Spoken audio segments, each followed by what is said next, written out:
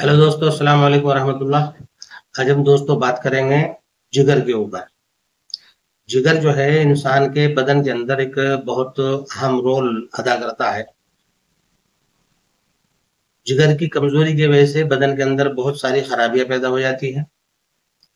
जिगर अगर सही काम नहीं करता है तो भूख का कम लगना, खाने के बाद उबकाई का आना, कमज़ोरी का आना, बुखार का मुस्तकिल रहना बदन के अंदर कमज़ोरी का महसूस होना, दाहिनी तरफ़ पसलियों के नीचे दुखन का होना, या दाहिनी तरफ़ पसलियों के नीचे बदन का फूल जाना, ये सब चीज़ें खराब जिगर की अलामत होती है। तो दोस्तों, जिगर के अंदर अगर आपको दिक्कत है और जिगर आपका सही काम नहीं कर रहा है, जिगर आपका कमज़ोर है तो हमदर्द का एक प्रोडक्ट है जिसको माजून दबीदुल वर्द के नाम से जाना जाता है।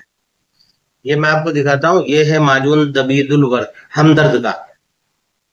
तो अगर जिगर में आपके किसी भी तरह की कोई शिकायत है तो इस माजून को लेकर के आप उम्र के एतबार से, यानी 18 साल से लेकर के और 50-60 साल की उम्र तक एक चम्मच खाना खाने से पहले ताजे पानी के साथ दो वक्त इस्तेमाल करें।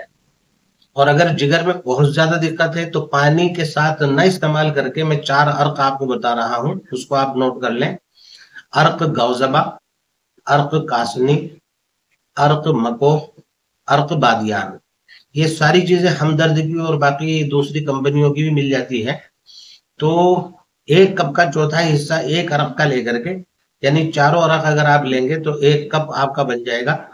तो एक चम्मच ये माजून खा करके ऊपर से वो एक कप अरक का, जो चारों अरक मिला करके होंगे, उनको आप अगर इस्तेमाल करते हैं खाना खाने से पहले तो चंद दिनों के अंदर आप देखेंगे कि आपकी जिगर की जो कमजोरियाँ हैं, जो शिकायतें हैं, जो तकलीफ़ है, वो खत्म होनी शुरू हो जाएँगी और आपको भूख का लगना, बदन के अंदर ताकत का आना, ये सब चीज़ें आपको एक हफ़्ते के अंदर इंशाल्लाह महसूस होना शुरू हो जाएँगी। तो अगर दोस्तों आप जिगर को लेकर के परेशान हैं तो आप इस दवा को ज़रूर इस्तेमाल करें और कमेंट्स में हमें लिख करके बताएँ कि आपको कितना फ़ायदा हुआ है। तो दोस्तों फिर इंशाल्लाह दूसरी वीडियो में आपसे मुलाकात होगी। तब तक अलविदा, अल्लाह हाफिज। अस्सलाम वालेकुम